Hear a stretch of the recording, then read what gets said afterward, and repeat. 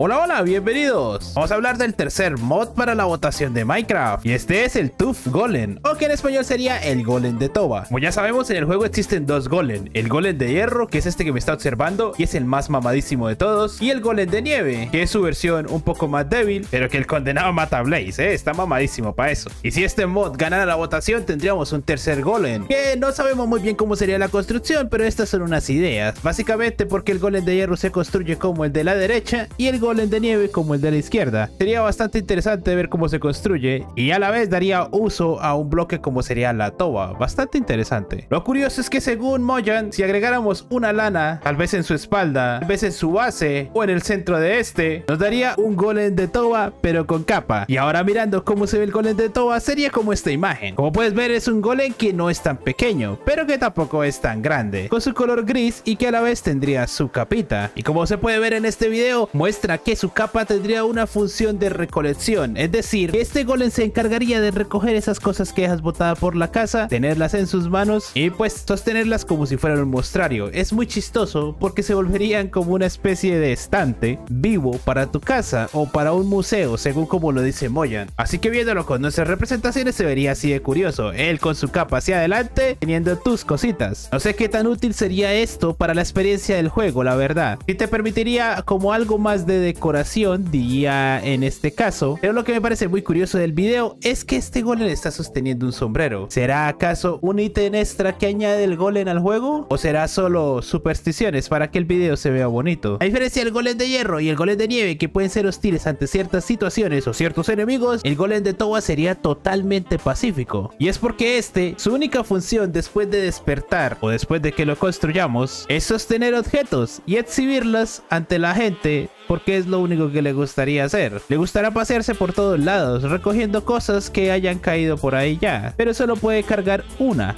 al parecer. Una de las cosas que sí podría llamar la atención del golem es ver sus diferentes diseños con el cambio de las lanas. Sería interesante ver qué tipos de capas tiene, que bueno, no es que sea algo súper súper redundante, pero sería lo más interesante. Otra cosa que destacar es que no sabremos si la cabeza se hace realmente con calabaza, ya que bueno, esto es lo que tenemos arraigado de tiempos atrás, porque los golems siempre se han construido con calabazas, pero no sabemos si añadirían un nuevo bloque que tenga que ver con la cabeza de este nuevo golem de Toba. Sería bastante interesante. Y ahora que tenemos al último mod de los tres que iban a ser propuestos por Moyan, lo más curioso de estos tres mods es saber si nos están llevando hacia lo que sería la arqueología en Minecraft. Ya sabes tú, buscar huesitos, buscar restos ancestrales, que tenga que ver con algo más de historia. Así que ya sabes, uno de los mods es el Sniffer, el oledor, el que busca semillas antiguas en la tierra, que nos va a traer 5 tipos de plantas decorativas diferentes. En otro mod será Rascal, que va a vivir dentro de estas minas y nos va a permitir algunos intercambios, que va a ir por la mina corriendo y se va a ocultar durante dos veces más después de que los encuentres para que te dé una recompensa especial.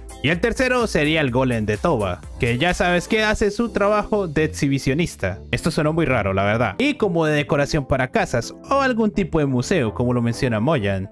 Si te perdiste alguno de los otros mods, recuerda que en mi canal se encuentran los videos de cada uno de ellos. Haremos seguimiento a las votaciones y veremos qué pasa cuando se venga. Haremos un nuevo video para que sepas dónde votar, qué hacer y para que lo tengas todo en cuenta. Venga que estoy que rimo mucho últimamente. Así que espero que te haya gustado mucho este video. Me cuidas y nos vemos en un próximo. Chao, chao.